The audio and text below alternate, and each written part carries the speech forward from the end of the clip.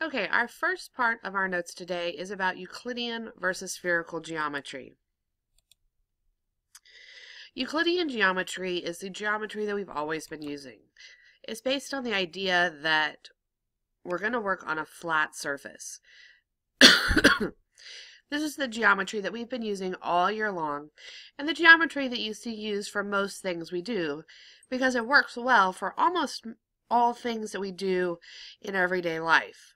Even big projects like building buildings, we're still dealing with things that are flat, building cars, even building larger things like bridges. We still base everything off the fact that we're dealing with flat planes, straight lines.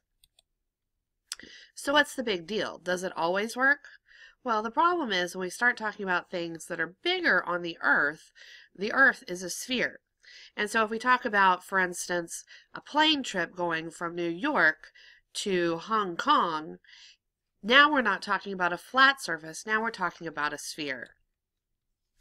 And spherical geometry is based on the idea that we're going to now deal with the surface of the Earth, which is a sphere. So, what's you need to know? As I go through these slides, fill in the blanks on your handout.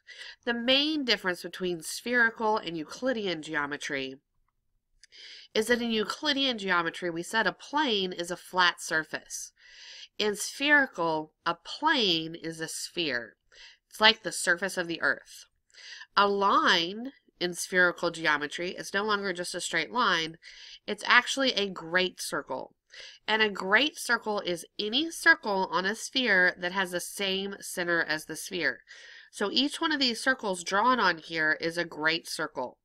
And we consider those lines. And then points are exactly the same in both kinds. So things that are the same. Number one, through any two points, there is exactly one line. One line or one great circle because we said great circles are the same as lines. Through any three points, there is exactly one plane. Here, one plane, three points here, makes one plane, one sphere. A line contains at least two points. Two points here, two points here. Remember, a line is a great circle. All right angles are congruent. We're used to right angles looking like this, but we can see here, right here, this is a right angle, it's 90 degrees, and it's congruent to this one over here. Now we're going to talk about ways that they're not the same. First, the first one has to do with parallel lines if we have in Euclidean geometry a line and a point that's not on the line, there's just one parallel line that goes through that point. However, if I try to do the same thing here, here's a line, it's this great circle, and this point over here, I could draw a couple of different great lines through this point, but none of them are going to be parallel to this line here because they're always going to intersect. So here there's one line that goes through it. Here there are no lines that are parallel to the first one. In Euclidean,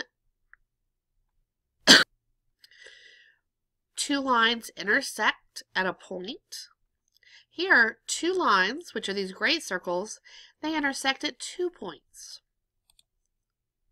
In Euclidean, a triangle always adds up to 380 degrees. Here, though, if we look at this triangle made by these three lines, you can see that it's more than 180. In fact, this one could be made with three right angles. So it's always more than 180 in a triangle. And the shortest distance between two points in Euclidean is a straight line, and in spherical, it's an arc.